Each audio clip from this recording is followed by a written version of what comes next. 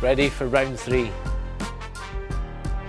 It means everything. It's uh, it's mad. It, it, just feels like I'm I'm back home. Um, not only the football side of it, but everyone else around the club um, that I'm, I'm close with.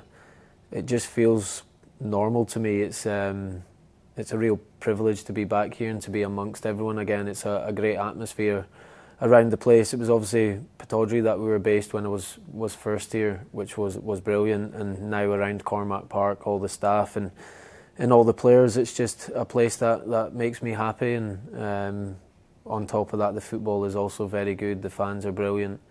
Um, so yeah, I'm delighted to be back. I'm looking forward to the season ahead. It's going to be tough, very tough, but um, we're building a squad now that that's going to be ready for it. And European football, which um, guaranteed group stages, is something that I've always wanted when I was here the last time. So that'll be very good. And yeah, very exciting times for the club.